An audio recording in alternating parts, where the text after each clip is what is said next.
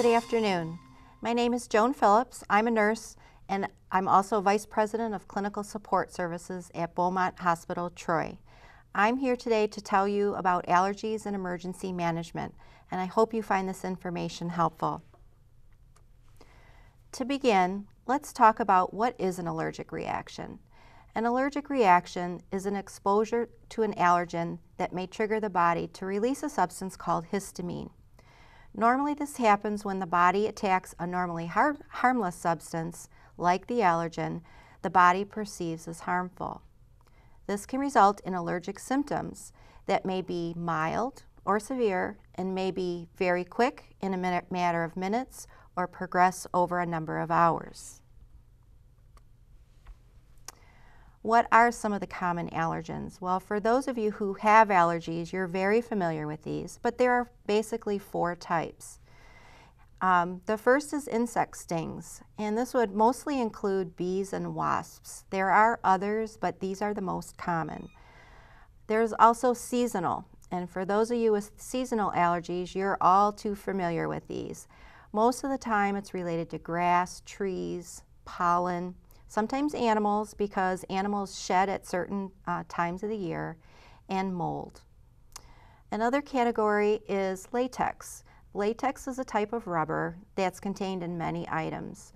Uh, the most common one is gloves, rubber gloves. This could be medical gloves that we use in the hospital setting. It can be household gloves that you might wash your dishes or your floor with. Um, also, many balloons are made of latex, so this can be very uh, troublesome for children uh, if they don't know they're allergic to latex. And also medical equipment. There's many items that we use in the hospital that contain latex that can be potentially harmful for someone with a latex allergy.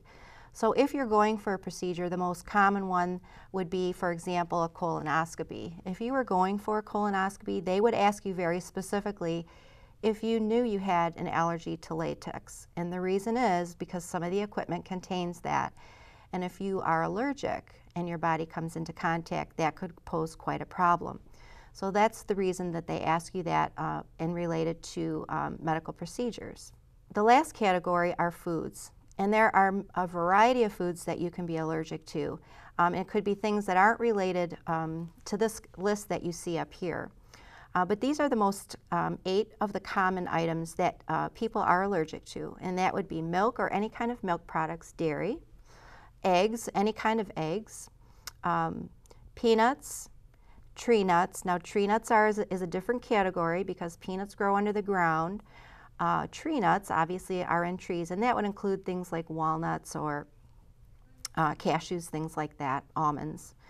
And then we have fish, it could be any variety of fish. And then shellfish, which is a totally different category, that would include things like lobster, crab, uh, and shrimp.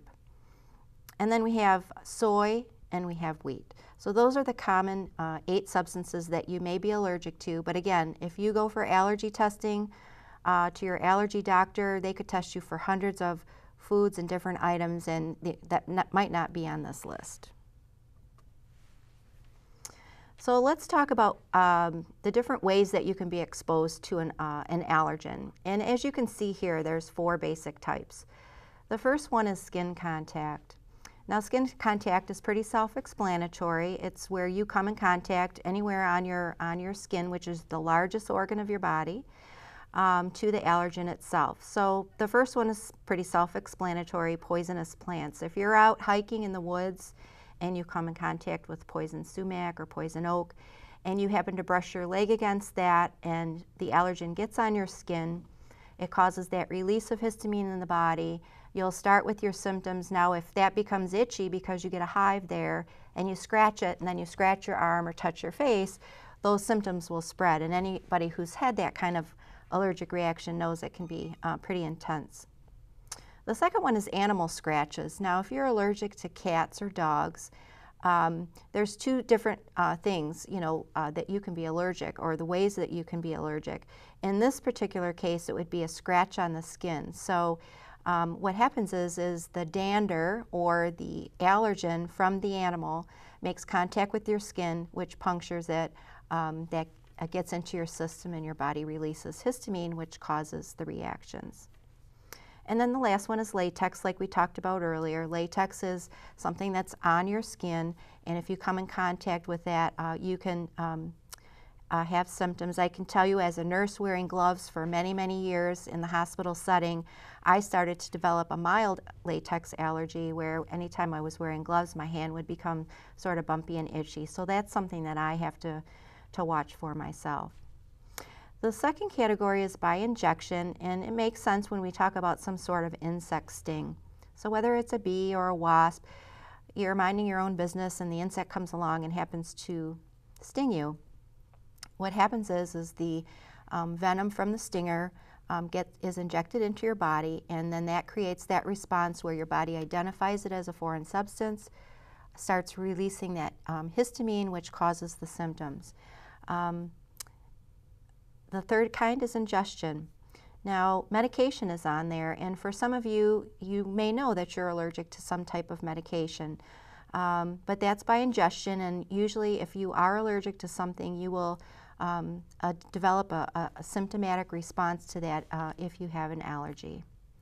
And then this also refers to the other types of foods, like you know, in this on the slide it shows you nuts and sh shellfish, but it really could be anything that you eat.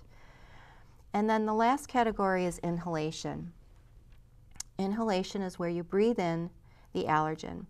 So for instance, those of you with hay fever or seasonal allergies, in the springtime, you know very specifically when the trees are blooming and budding because that pollen gets into the air, you breathe it, and when you breathe it, that's the signal for your body to release histamines. And you know what the symptoms are, which we'll be going over shortly. Another one that you can inhale is dust, and this is very common. I, in particular, am very sensitive to dust. I don't believe I'm allergic to it, but if I'm in a high dust area, I'll start sneezing. But that's the body's common response to clearing out your nasal passages if dust gets in there. If you're truly allergic to dust, you can have other symptoms that go along with it. And usually, if you have allergy tests, they will test you specifically for dust and dust mites, things like that. The third category is mold and mildew. Mold and mildew, um, what people don't realize is it usually grows on something, maybe a wall or um, um, the floor of a shower, or um, sometimes even the bottom of a shower curtain. But what happens is, is those are made of spores, and the spores are released into the air, and um, those are breathed, uh, breathed in, and then that can cause the response. And then the last one, um, under inhalation is animal dander. And again, if you're really allergic to, for example, dogs and cats, and you enter someone's home that has a dog or a cat, your symptoms will usually progress very quickly and your eyes will become runny and your nose runny and those sorts of things. So again, with um, pets, you can either inhale the dander or it can come in skin contact. So let's look at what happens uh, symptom-wise. So this is a, a picture of a man and it shows the insides of their nasal passages and their, and their oral passageways and their eyes. So what happens in a mild allergic reaction? Again, remember that when you are exposed to an allergen, something that your body perceives as a foreign object, your body uh, releases histamine. Histamine is what causes the symptoms, such as red, itchy, watery eyes, sneezing, congestion, a runny nose. Um, and then if you look at, uh, on the picture, if you look at the throat area, if you can see the passageway, it's pretty wide open there, but it can cause uh, itchiness, sore throat. What happens is your nose starts running, it drips into your throat, causes that postnasal drip and sometimes a cough. So these are all things that are very common with seasonal allergies uh, and are not life-threatening. There are, are some other symptoms. Um, sometimes you can get hives with some mild itching. Um, sometimes these are caused by seasonal allergies, molds, or pet dander. And a good example is, is if you have a shower curtain, let's say, in your shower, and a little bit of mold grows on the bottom that you haven't seen. And this actually happened to my daughter, who's very allergic to mold. She took a shower one day, and there was a little tiny bit of mold on the bottom of the curtain. And when she got out of the shower, she had hives all over her lower legs because the water had splashed on her skin and it, and it caused a reaction. So sometimes you have to really look for the cause. Now the treatment for a mild allergic reaction is over the counter, very simple, and I'm sure most of you have heard of antihistamines. And remember, histamine is what's released in the body to cause the symptoms. So what do we take? An antihistamine. What this does is it blocks the release of histamine in the body in response to the allergen. Usually dries up your nasal pas passages, dries up your eyes and your throat, and you feel relief from the symptoms. So let's look at what do common allergic reactions look like. So in the case of mild seasonal allergies, like we talked about, here's a picture of a woman suffering. She's sneezing, blowing her nose, looks generally pretty miserable. Her eyes are watery and itchy. She's got that postnasal drip and she's sneezing. Very uncomfortable feeling, but usually very treatable with the over-the-counter antihistamine. This is a picture of a mild insect sting, and I say mild because this is a localized reaction um, within the absence of more systemic or bodily um, reactions. So hopefully you can see in the picture the red dot, um, that's where the insect sting is. There's an area around it about the size of a penny, and that's a penny there just so that you can see uh, a comparison. So it's a raised area uh, swollen around the bite itself, and then there's an area of kind of a red raised um, section around the insect bite. This is a, considered a mild insect sting, and in the absence of breathing problems and other more severe symptoms, uh, the person just has to weather through this. These are usually pretty painful. Um, the best remedy is to try and remove the stinger if it's present. And you can either um, pick it out yourself with your fingers, uh, tweezers, or sometimes if you have like something like a credit card, you can swipe across it. The only thing you don't want to do is push the stinger in. You want to pull it out uh, totally.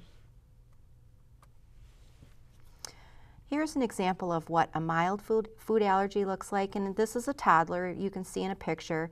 Now a toddler's not going to be able to tell you how they feel, but you might be able to see. But a small child or, or an adult um, will be able to explain how they feel. So this child ingested something that they're allergic to. So they have, uh, you can see they have mild hives around their lips and their mouth. Um, the person may have itchy, watery eyes and itchy throat um, and sometimes mild nausea and stomach ache. And you may ask, why would they get a stomach ache? Well, histamine is released from two places in the body. The first uh, source is the lungs, and that's why you get all the um, respiratory symptoms. And the second um, place that secretes the, or the histamine, the second place that secretes the histamine is the stomach. And this is something that people don't normally relate to allergies. They always think of the stuffy nose and the breathing. But you can um, definitely get stomach symptoms, and if you're eating something and having some mild symptoms with the stuffiness and, and you get some mild um, stomach symptoms, whether it be diarrhea or a little nausea, um, that can very well be related to allergies as well. This is uh, showing what a medication allergy might look like, and I hope you can see the rash there on this person's upper trunk and arm.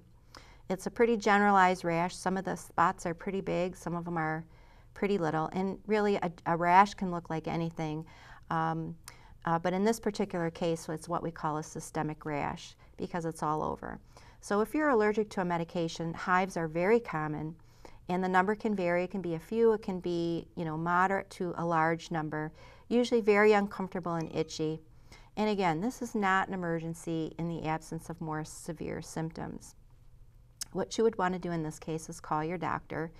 And sometimes you may develop an allergy over time. I can tell you myself, um, as a normal person growing up, I took penicillin on many occasions for a variety of reasons and never had an issue until I was in my 30s and one time was on penicillin and developed a, a body rash. Um, the only thing I could contribute it to was taking the penicillin. I called my doctor. Um, right away they said, mm, you probably have, you know, an you've developed an al- allergy to penicillin, so now that's something that I have to avoid. But I never had anything worse than, than the rash itself. So again, these are, are mild. So let's talk about more serious reactions, which are really why I'm talking to you today, so that you can learn um, what to do in the case of a serious allergic reaction. And it's called anaphylaxis. And I sort of uh, phonetically spelled it for you there. Anaphylaxis. What that is is a, a severe allergic reaction, and it can occur very quickly in a matter of seconds, minutes, and if untreated, can cause death. So it's very important that we're familiar with this. It happens when a person with a severe allergy is exposed to an allergen, and it's all those things we've talked about foods, medicine, insect uh, stings, latex, anything of that nature. Anaphylaxis can occur if you have a known allergy and you are exposed to that allergen. It can also occur if you don't know you have an allergy and are exposed for the first time. This happens sometimes, uh, a common example is in the summer if someone gets stung by a bee or a wasp and they've never been stung before and they um, get stung the first time, they may have a mild reaction, which is just a local painful reaction, or they can have a severe, if they have a severe allergy, um, have a very severe reaction with much more complicated symptoms of breathing compromise and such. And if you have a history of asthma or heart conditions, that can make it even more serious because you already have an existing condition with either your heart or your breathing. And if you have a, a severe reaction to an allergen, it could make it uh, much worse. Um, the other thing of note here, and we talked about this earlier, is um, always make sure if you have a latex allergy to notify medical personnel if you're having a procedure like a colonoscopy or a bronchoscopy, anything, even if you're admitted to the hospital where um, the hospital personnel wear gloves. It's always uh, very important to let them know, and they will be, as part of their uh, physical assessment when you're first admitted, ask you a lot of questions about latex allergy because there's certain things they can do. They'll also ask you about uh, food allergies, they'll ask you about medication allergies, um, and anything else. Um, and if you ever have to have a procedure that has dye in it, uh, for example, a CAT scan, that they need to use dye as contrast, they'll ask you if you're allergic to shellfish. And the reason is shellfish contain iodine, and iodine is one of the main components in one of those dyes that they use. So those are the reasons they ask you for that, because if you have a reaction to something like that, it's probably going to be one of the more serious reactions, and we need to prevent that from happening. So in a severe allergic response, again, here we have our man that shows the nasal or and oral passageways. In this instance, you can see where it's pointing to the eyes and it says loss of consciousness. Now remember in mild reactions you're going to get red, red, itchy, and watery eyes. The reason you would lose consciousness is probably because you've stopped breathing and that's related to the swelling of the tongue and the rapid swelling of the throat tissues. So what happens again, if you are severely allergic, this can happen very quickly and you may start having difficulty breathing and this requires 911 treatment. Other symptoms you may get in anaphylaxis are swollen lips, eyes, ears, hands, feet, could be your entire body. And it's not just simple swelling, it's blowing up like a balloon swelling. Um, the person may get severe hives and itching. They may get flushing. Flushing is a very common symptom in anaphylaxis, and that's where the face or the body or the ears will get extremely red and look flushed. This is a symptom of where the blood vessels dilate and blood rushes to that area and that, that ma makes the red color. So that bright red color is also another warning sign. Like I said earlier, you might get tightness of the throat, wheezing, difficulty breathing, talking or swallowing. The person might start to feel dizzy and eventually pass out if they're not getting enough oxygen. The person may also have chest pain, and that would probably be related to lack of oxygen, especially in an older person. They might complain of uh, that their heart is pounding. Or if you feel their pulse, which is below the thumb in the inner aspect of the wrist, um, might feel very weak and, and rapid. And again, like I told you, the, the um, second source of histamine release is the stomach. So the person may feel nauseated, may vomit, or ha start having diarrhea. These are all very serious symptoms. So what do we do for the emergency response?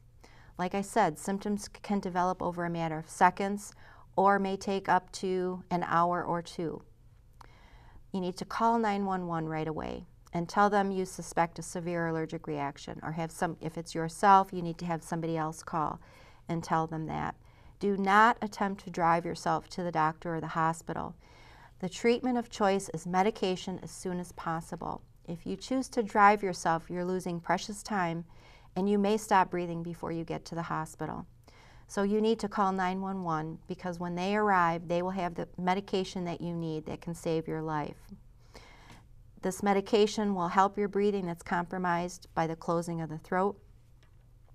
Again, the person may um, feel very dizzy, may, may pass out. So when the symptoms begin, always have the person sit or lay down, stay with them until help arrives. So what do we do for anaphylaxis or severe allergic reaction? The drug of choice is epinephrine, and I spelled it there phonetically for you, epinephrine, epinephrine. Once it's been determined you have a, se a severe allergy, uh, your doctor may test you for a variety of allergies and may prescribe you, a, you an EpiPen, which I'll show you in a minute. Um, this is something that you carry on your person at all times if you have a severe allergy and can give it to yourself. And your family and loved ones can be taught to give it to you as well. And the main thing to do is to try and prevent the exposure in the future.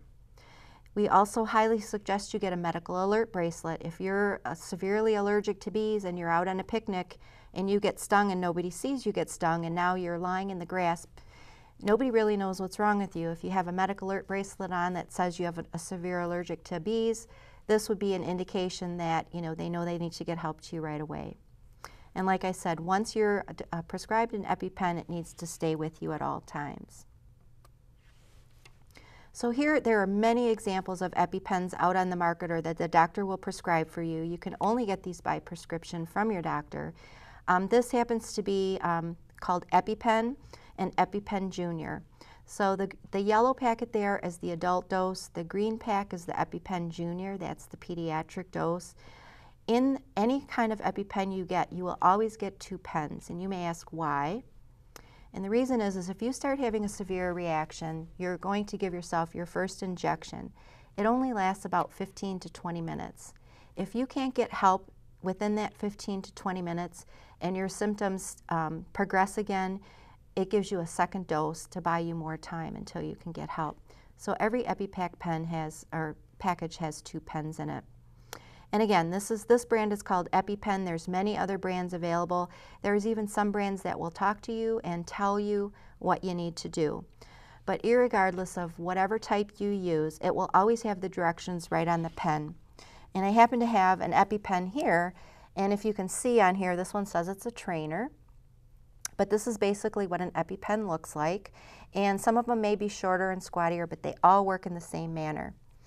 They always have a cap they always have the directions on what to do here, and there's always a tip that has the needle um, on the inside. Now the needle's not showing, but when you press it against the leg and you hear a click, that deploys the needle into the skin, and then you hold for 10 seconds while the medication is going in. So I can show you how it works. If I needed to give myself an EpiPen injection, I'm going to take off the cap, I'm going to firmly grasp it in my fist, and I'm going to firmly press on my upper outer thigh, which I'll show you a picture in a minute, until I hear the click. The click is going to come from where the needle comes out, and just for demonstration purposes, I'll do it on the table. You hear the click, and this comes out. What happens is it protects the needle so you can't accidentally poke yourself again. Um, and that's basically it. So, uh, um, you know, children as little as three years old can do it, and um, if you ever go online and look at the videos, you'll see there's many of them out there that show a, a small child that knows how to give themselves um, an injection. So this is, again, just uh, is a summary. You inject into the upper outer thigh, and again, you can inject it right through clothes. Whether you have pants on, it doesn't matter. The needle is pretty long under there. Um, and once you press it to the thigh and you hear it click, you're all set. You hold it for 10 seconds so the medication can be delivered. The next thing you do is you call 911. So if you're on your own and you give yourself an EpiPen, you lay down, hopefully you, you have some, you know, the ability to call 911 and you have your second pen ready to go in case you um, need that second dose before help arrives. Like I said, if you go on the internet, there are tons of videos to show, to tell you all about EpiPens, to tell you all about allergic reactions. Um, really great ones out there. There's a great one if you Google EpiPen on YouTube. Um, there's a wonderful one that shows a bunch of little kids and the ability of how they give themselves these shots because they have severe um, food allergies. Um, so I showed you the demonstration And I want to thank you for your attention, and I hope you found this uh, information helpful. And today is the day that you just may have learned to save someone's life. So thanks for watching, and have a great day.